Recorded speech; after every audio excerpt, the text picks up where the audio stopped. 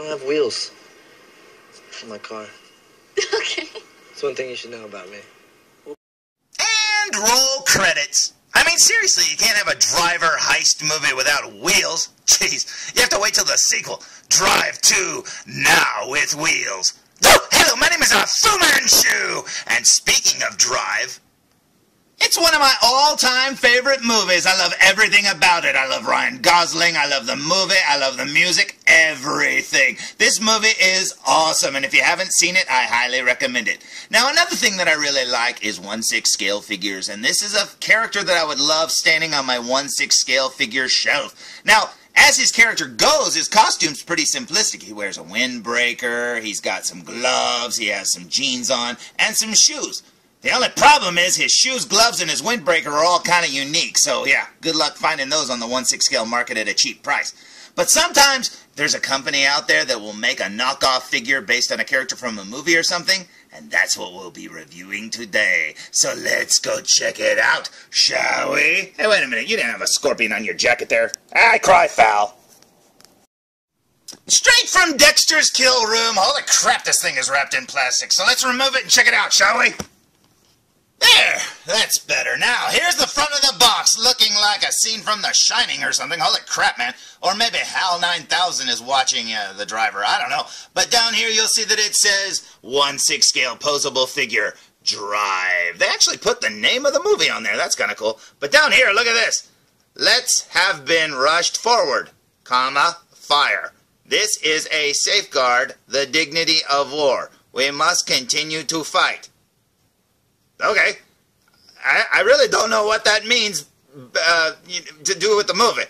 Uh, cool. So anyways, this is the box, and it's pretty awesome. Down the side of the box, you'll see a picture of the driver right there with his scorpion jacket, and that jacket looks awesome. You'll see that he's also holding the hammer, and that is cool as well. Down here, you'll see that it is the BBK 004, so it's three before James Bond, so it's gotta be awesome. Let's look at the back of the box, shall we?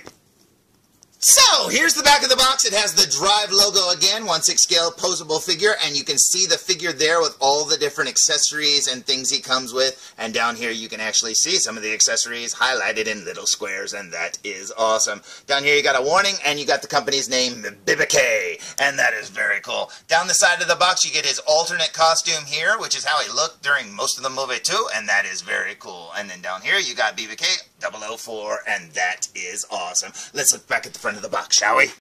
So, here's the front of the box for the very last time, and I have to say I absolutely love the fact that there are smaller companies out there willing to take the time to make figures of characters that we want from movies that no big company seems to be making. Now, you also have to realize that this is not going to be Hot Toys quality, but hey, it costs a fraction of what a Hot Toys figure goes for, and just the fact that you get a figure of the character is what counts, and that is awesome. Now, I say we waste no more time, because I've been wanting to get a figure of this guy for a long, long time, so I say we open it up. Now, if you look down here, you'll notice that the front of the box is actually a slip cover, and as you see, if you pull it off, you will find a black box underneath there, and that is awesome. It's like a little shoebox. So when you open up the shoebox, you find it was a lot harder to open that box than I thought it would. Seriously, I think it's because it's made out of a very matte finish, but that lid would not slide off. And what you didn't see was me wrestling with it for about five minutes. But anyways, I got the box open, and underneath we find the usual foam, and underneath the foam we find a figure and all his accessories, and even though his face is obscured by plastic, I'm already happy. As you can see, the driver there is wearing his blue jean jacket. He's got his blue LA hat there, his sunglasses, his cell phone. There's his watch. He's wearing the gloves on his hands, and then down here you've got his very iconic scorpion windbreaker and the hammer from the very pivotal scene in the movie. And check out those shoes. Those look awesome. It's got they've got real laces and everything. Now, as I said at the beginning of this video, those shoes, his gloves, and then his windbreaker over here are all very unique looking. So yeah, good luck putting together a kitbash figure unless you shell out the money to get some, you know, homemade versions of like the jacket or something like that. And there's some really good ones out there, but it can cost more than this actual figure cost. So yeah, it's really nice to get all the pieces together all in one box set. And you know what's really neat is to get the blue jean jacket. I mean, he wore that a lot in the movie too, and it's really cool to get both looks. I mean, yeah, most people are going to go with this look, but he had this look a lot in the movie, so it's really cool to get that, you know, option. Very cool indeed. So I say we waste no more time and pull him out of the box and check him out, shall we? So here's Ryan, the driver, no other name Gosling, fresh out of the package. And looking at this thing, I have to say there are some pros and some cons. Now, as you can see, his body looks really, really thin. So I'm assuming they went with like a uh, knockoff Hot Toys, you know, thin type kind of body or whatever. But uh, yeah, Ryan Gosling did look pretty thin in the movie, but I don't know. His neck looks really long, kind of like the uh, Doc Holliday figure that I reviewed a long time ago. I don't know if they just made his neck too long, if the peg's too big, or what. But I mean, I'm sure you could fix this by changing some of the bodies out and stuff like that. But this is how he looks fresh out of the package. He almost looks very scarecrow-esque. But, you know, like I said, that can be fixed probably with a body swap. I don't know. Maybe you need to futz with his clothes. You got me. But you know what? I'm still happy with it because, like I said, all the accessories and stuff like that, the head sculpt looks very, very good. I mean, it's not Hot Toys quality, quality or whatever, but it still looks really good. It looks just like the character. Now, down here, you've got his blue jean jacket, which seems to be snapped up right there at the front. So let's see what it looks like when we unsnap the snaps, shall we? So, with the jacket unsnapped, you can see that he's wearing his like white Henley short sleeve shirt there underneath there, and that is very cool indeed. Now, as you can see, the neck is very long, and if I think if you remove like the neck peg thing that it that it uh, snaps to, because it doesn't match color scheme wise, See, I mean, that's adding a lot of height to it. So if you took that off or if you gave him a shorter peg or whatever, I don't know, it would probably look a lot better. But yeah, you really have to adjust the figure in order to get him to look right. But like I said, this is a knockoff figure, so you can't expect it to be 100% perfect. Just the fact that he comes with all the accessories and his head sculpt makes me happy. That is cool. And one of the things I really like about it is that they captured Ryan Gosling's face. I mean, that looks just like him from the movie. They did a great job. They've even got his little mole there on the side of his cheek, and that is very cool too. Man, this is very cool, and I can't wait to see him in that scorpion coat. But before we do, let's check him out. Now, down here, you'll see that he has those really neat-looking tan shoes with the laces. Like I said, they're boots that come up over his ankle, and that is very cool. You've got his blue jeans, which look very neat. He only comes with these two hands. Now, I guess he could have came with, like, some just normal hands with no gloves, but I'd prefer him wearing the gloves anyways. Besides, if you've got other figures, you've got extra hands. As you can see, this one's made for holding either a steering wheel or the hammer, probably just the hammer. And then over here, he's got the waving hand, I guess. I don't know. But anyways, you got his belt there, and then you've got his blue jean jacket, white t-shirt, and that is awesome. So let's flip him around and check him out from behind, shall we? So, here's the figure from behind, and check it out. It's me from middle school and high school. Oh my goodness. But you know what? That is very cool indeed. You can see that his hair there is, uh, like highlighted to have it look like it's a little thinner there at the bottom or shaved down, and that is very cool indeed. You got his, I still say his neck's too long, but that's what everybody's probably going to think. And then down here you've got his gloves, and then down here you've got his jeans and his shoes, and that is awesome. So let's flip him back around, shall we? To say, as skinny as this figure looks, and you know, as long as his neck looks and stuff, I'm still very, very happy with it. I, you know, no regrets whatsoever about getting it, and I can't wait to see him in his scorpion coat, like I said, just to see it in a different version. This is just so cool indeed. But before we do, let's check out the accessories, shall we? Now, because I count it as an accessory, here's what the figure looks like without the blue jean jacket. Now that shirt was actually bunched up around his shoulders. When I first took off the coat, it kind of looked like he was wearing a muscle shirt or something. But as you can see, the sleeves can be pulled down over the arms. Now speaking of the arms, they have a very weird shape to them. Now when I was taking off the coat, it felt like this might be a DAM Toys body or something underneath there, the way the shoulders felt. But no, this is a very unique looking body, as you can see. He's got some strange looking biceps there. But since the arms are covered up by the coats and stuff like that, I guess it really doesn't matter at all. The strangest thing is, he doesn't look quite as giraffe-necked now, does he? That's kind of weird. Now, I did adjust the shirt a little bit. Maybe that has something to do with it. But yeah, so I mean, he actually looks a little bit better like this. That's kind of strange. Now, in the movie, because it took place over a bunch of different days, he actually had different colored shirts, like a gray one and stuff like that. And uh, yeah, so I mean, it's good enough just to get this shirt, and besides, you can dye it if you really wanted one of the other colors. But this is the way he looked most of the time in the movie, and that is awesome. Now, speaking of the blue jean jacket, here it is. This is what it looks like when it's taken off, and it looks just like a real blue jean jacket. You've got his scorpion windbreaker right there, looking oh so awesome. That is so cool. There's his LA hat, which is packed with a little bit of foam to give it that shape. He has his little glasses there.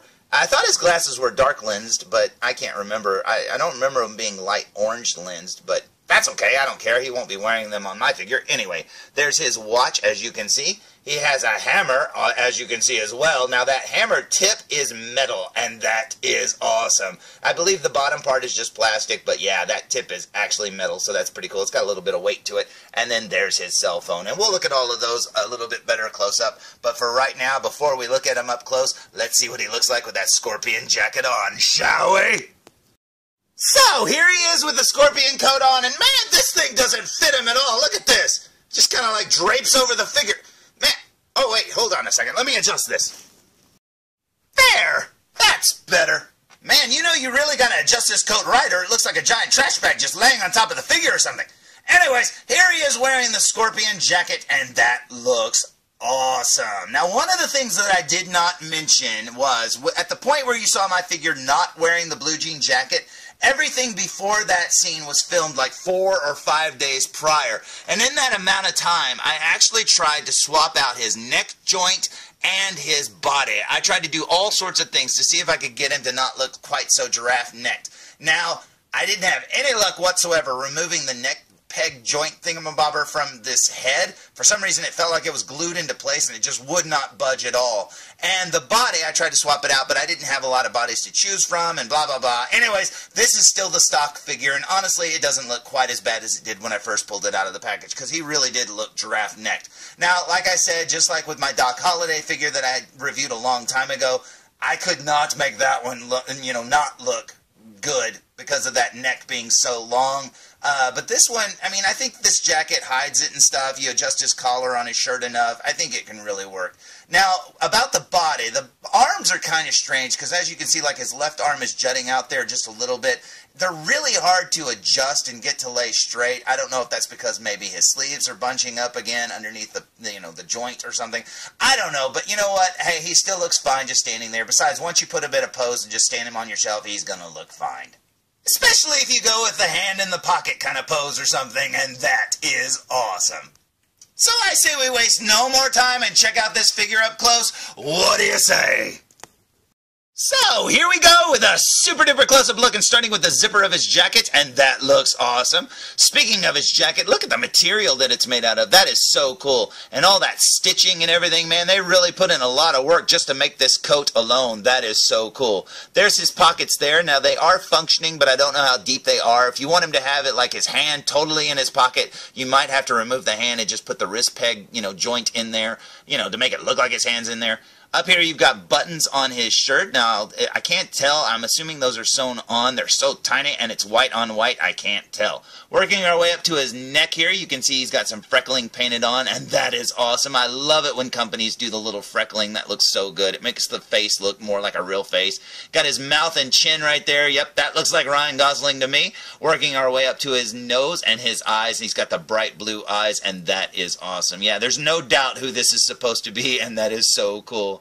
Got more freckling up there at his head, and then there's his hair. And now, there's a lot of Ryan Gosling heads out there, but in order to make, you know, the right one, you always have to have that right hairstyle and stuff. And this one is drive through and through, and that is awesome. Now, turning the figure to the side, you can see his hairstyle right there, looking very cool indeed. You got his ear, and you can see the part that's shaved a little bit shorter right there. That is very cool. Over here, you can see his mole by his eye, and that is so cool. He's got some more freckling there. It almost looks like the Predator targeted him there on his cheek. Holy crap, run, Ryan! And then you've got his nose looking very cool, and his mouth, and that is awesome. That is definitely Ryan Gosling's profile. That looks so cool. Working our way down his neck, as you can see, you've got the collar right there with the little, like, material that almost looks like t-shirt material there at the collar. That is very neat. You got the uh, button, I don't know what that's called, the little like flap that comes off the front so you could button it down. You've got the um, material there at the shoulder, again with the uh, t-shirt kind of material. That is very cool. It's a very cool looking jacket, man. Uh, the thing is, is that, you know, like sometimes your fingerprints or whatever, your fingers can get that like rough kind of skin, you know how it not necessarily callous, that's all I'm saying, but where it feels like it can catch on material. Well, this is one of those coats, and the real coat too that they you know use in the movie you know if you get one of those. Uh, your fingers can catch on that material and it feels like you're snagging it and stuff like that. So be very careful. So make sure your fingerprints and stuff aren't all rough. But check that out. You got the little like cuff there. And this one actually goes down pretty long. I've seen a, a review of this figure already before and it looked like the sleeves were way too short. But then again in the movie it looks like his sleeves are kind of too short too. So it looks like the jacket may be like one size too small for him. But it looks awesome. Here you've got his gloves which look very cool you can see his skin underneath there and that skin color actually matches the body very very well indeed now, turning the glove to the side a little bit so you can see the front of it. You can see the stitching there. And look at that. He's even got the little dots down his thumb. That is so awesome. Yep, down the fingers too. That is cool, and that's why I was saying these gloves are very specific, and uh, like his shoes and his jacket, so you kind of need all those pieces, and that is awesome. I do wish that button would have been painted like a brassy color or gold or something, or I think that's what the color it was in the movie. That would be very awesome, but that'd be an easy fix. But yeah, this glove looks awesome. Now, working our way down the right side of him, over here you've got his ear, and there's the shaved part of his hair again. Working our way down his jacket, that is so awesome. Yeah, this coat is cool and feels like the real thing. They did an amazing job. Working our way down here to his right hand, you've got his glove again, looking very cool. Now, like I said, this hand is made for holding the hammer. I do wish it would have came with extra hands and stuff, but honestly, uh, do you really need any more hands? I guess you don't. Over here, you've got the bottom part of his coat, and it's all zippered up, as you can see. Working our way down his jeans, and there you go. They're just normal jeans. There you go. Turning him to this side so you can see. You can see his belt is actually poking out right there. It almost looks like his belt almost has a tip to it, but I think that's just a trick of the lighting. Then down here you've got his blue jeans going all the way down to his shoes, and his shoes are awesome as well. As you can see, they, they are made of plastic. They're not leather or anything, but they're made of plastic, and they've got real laces, and those laces really make them look like real shoes. That is so cool. And just like I was saying about the gloves, these are very, very unique and they look cool. Now, as I said too, these are kind of boots. They go up over his ankles. I pulled up his pant leg so you can see there, and that is awesome. Now, turning the figure around to check him out from behind, and you've got his hair right there, long and shaggy on top, and then it gets a little bit, a bit buzzed here in the back, and that is very cool indeed. You can see his neck there and the back of his uh, jacket again. As I said, it looks like it's made out of almost like t-shirt material or something. And then working our way down to the scorpion that is expertly sewn on there, and that looks so amazing. It's got all the different tones and color and stuff. They could have just went with one gold color and that would have been awesome, but just like in the movie, he's got, you know, two-tone or three-tone. I don't know how many tones there are, but that is so awesome indeed. He's got all the little arms and stuff. That looks amazing. I absolutely love that. And yeah, man, just getting all these pieces alone, if you're not happy with like the way his neck is long or anything like that, honestly, just getting all these pieces together, this is so cool and worth every penny in my opinion because just standing this figure on the shelf, you can tell it's supposed to be the driver and that is awesome. Here's what the figure looks like wearing the glasses. As you can see, they've got real lenses and everything, and that is awesome indeed. Now, like I said, I don't remember the lenses being quite this orange, but then again, I don't know, maybe maybe I just don't remember. It don't look like I put them on his nose very well. Jeez, that's better. Anyways, yeah, I've had a lot of problems making this video, so I hope you like it. But anyways, I'm just showing off the figure. As you can see, they're Oakleys. That's kind of cool. Yeah, that's pretty neat. A little uh, Oakley symbol over there. Very awesome indeed. And I absolutely love seeing all those little details and stuff. That is so cool.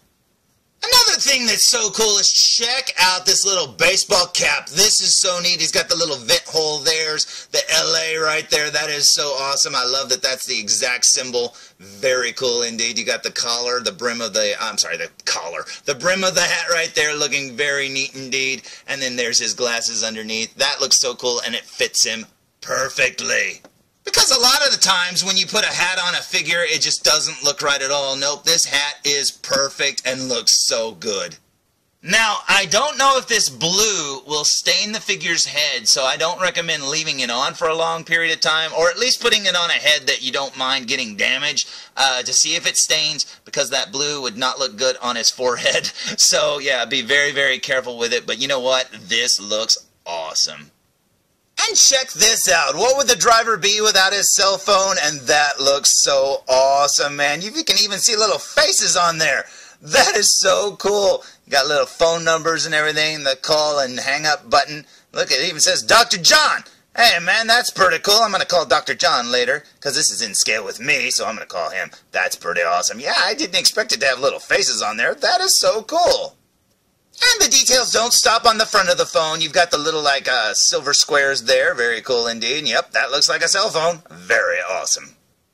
Now, here's what his watch looks like up close, and check that out. It's got the little dials and everything. Very cool indeed. Now, it has the little brown band and stuff. Now, that's another thing that can be kind of hard to find on the 1-6 scale market. I mean, you can find watches and stuff, but you always kind of want the specific ones and junk. Like if you, you know, watch Dexter, he has a very specific watch and stuff like that. So, yeah, this is another one that, you know, might be a hard piece to find, and it's really cool to get all these pieces in one set. That is awesome.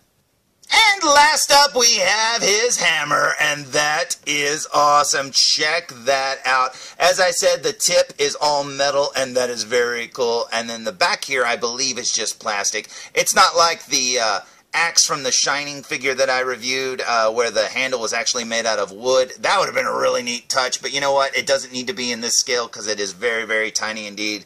Just the fact that that looks like a real hammer there at the end, that is awesome. Oh, and it's worth noting, I checked the movie, he does kind of have orange lenses in his uh, glasses. They're, they're darker, more like amber colored. But if you look carefully, the glasses that he came with with this figure aren't quite the same shape. So yeah, these are a little bit different, but hey, it doesn't matter because I'm not going to be posing them, wearing them anyways. So, what did I think of this figure? Well, I absolutely love it. It does have its problems, though. Looking at it like this, you can't tell that it has a giraffe neck, so that's really cool indeed. So, yeah, if you adjust the clothes, it'll be fine. But the figure does have a lot of problems. One of the problems that I haven't talked about is his watch. Now, his watch doesn't have any, uh, uh, a slit up the back of it, or whatever, to make the uh, band go through the little uh, silver part of it. Uh, so I thought, well, I'll cut that in there and maybe it'll go. But then the band wouldn't fit through the silver part. So I just glued it down into place so it looks like he's wearing it anyways. But so yeah, little things like that that you don't really think, you know, is going to happen when you review a figure. You think, oh, you know, it comes with a watch. I'll put the watch on. But well, the watch wouldn't go on. So, yeah, you kind of have to figure out a way around it. The giraffe neck did bother me, and like I said, I did try to swap out the body and stuff. I tried to fix the neck. There was nothing I could do. I'm sure other people could do it and fix it and make it look better. But honestly, looking at it like this, I don't have a problem with it at all. I think it is awesome. I think it looks just like the character, and I think I couldn't ask for anything more. So, there's my review of the BBK 004 Drive 1-6 scale figure of The Driver, played by Ryan Gosling, and that is awesome. Yes, this figure does have a few problems here and there, and honestly, there's one thing wrong with it that I never brought up in this review, but I do wish it was there. He doesn't have a 1-6 scale toothpick sticking out of his mouth. Dang it! I mean, DAM Toys showed that they can do it with the billet figure, so man, why didn't you do it? But you know what? That could be totally customized, and I don't mind at all. This figure has all the right details, and that is awesome. And honestly, it was a pretty good price, too, considering, and I absolutely love it. So honestly, if you like Drive as much as I do, or Ryan Gosling, because, hey, hey, Ryan, if you want to call me, call me, dude. I will totally fangirl out over you. Seriously, you're awesome. I wish I could work with you. But anyways, I hope you like this review, and if you like this figure, go check it out because it's really, really cool. So, until next time, tune in for more Foo Reviews! oh, and one more thing. Why didn't this figure come with that creepy-looking actor mask that he wore in the movie? Seriously, that thing is so creepy looking. It would look so cool standing on the shelf. Maybe have him holding it. I don't know, man. That would have been awesome. Still kind of creepy, though. Hey, this is Nolan North. You don't want to miss Fool Reviews. And I'm out!